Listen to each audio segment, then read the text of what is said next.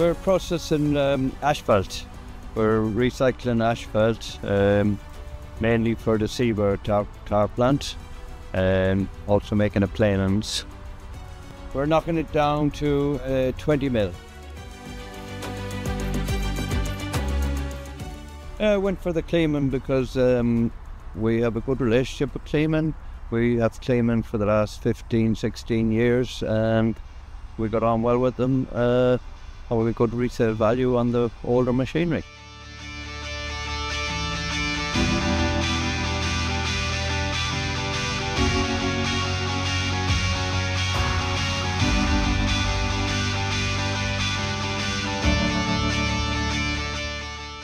We do. We make a Type One, Type One crushed concrete with it. Um, we also crush the oversize from our screener down to 20 mil for the wash plant to give us a 20 mil washed aggregate.